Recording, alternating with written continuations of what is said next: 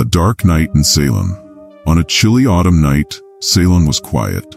The wind whispered through the trees, making spooky sounds. The full moon shined bright, casting shadows on the ground. These shadows seemed to move on their own. Old houses creaked, and the air felt heavy. It was as if the town itself remembered the past, a past filled with fear and darkness. People say that on nights like these you can hear the ghosts of the Salem witch trials. The old courthouse, at the center of Salem stood the old courthouse. This was where the witch trials happened many years ago. It was an old, spooky building with tall, cracked walls. The windows were dark, but if you looked closely, you might see a ghostly face staring back at you. This courthouse was a place of sadness. Innocent people were blamed for being witches and put to death. Now their spirits roam the halls, seeking justice they never got in life. The haunted forest near the courthouse was a dense, dark forest. The trees were tall and twisted, their branches like bony fingers reaching out. It was said that the witches, accused and scared, hid here trying to escape their fate. As you walk through this forest, you might feel a cold hand on your shoulder or hear a faint whisper in your ear. The forest is alive with the spirits of those who were unfairly judged, the ghostly figures. People who visit Salem at night often talk about seeing ghostly figures. These figures float above the ground, their faces pale and eyes filled with sorrow. They appear and disappear in the blink of an eye. Some say these are the spirits of the accused witches. They wander the streets, still looking for the freedom that was taken from them.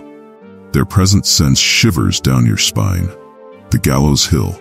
Gallows Hill was a place of execution. It was here that many of the accused witches were hanged.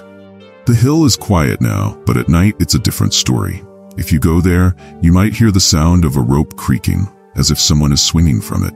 You might see ghostly figures standing in line, waiting for their turn. The hill is a place of great sadness, and the spirits here are restless. The town's memory. The people of Salem remember the witch trials. They remember the fear and the hysteria that gripped the town. Now, they live in a town filled with ghosts. They tell stories to keep the memory alive hoping that such a terrible thing will never happen again.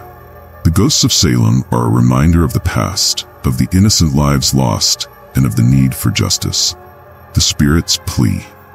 As the night goes on, the spirits become more active. They gather in the town square, their eyes pleading for justice. They cannot rest until their names are cleared. They want the world to know they were not witches. They were just people, caught in a terrible time. Their plea is silent but powerful, it echoes through the night, a call for understanding and peace. The sun rises. As dawn approaches, the spirits slowly fade away. The town becomes quiet again, the eerie feeling lifting with the first light of day. But the memory of the ghosts lingers. The people of Salem know that as long as the town remembers, the ghosts will return. They will come back, seeking the justice they were denied in life. A lesson learned, the story of the Salem witch trials is a lesson for all. It teaches us about the dangers of fear and false accusations. The ghosts of Salem remind us that justice is important and that we must be careful not to repeat the mistakes of the past. The spirits will continue to roam the town, their presence a warning and a reminder of a dark chapter in history. A promise to remember. As the story ends, the narrator looks out over the town. Salem is a place of beauty and history, but it is also a place of ghosts, of memories that cannot be forgotten. The people make a promise to remember the trials and to honor the spirits of those who were wronged. They will keep telling the story so that the ghosts of Salem will never be forgotten and justice will always be sought.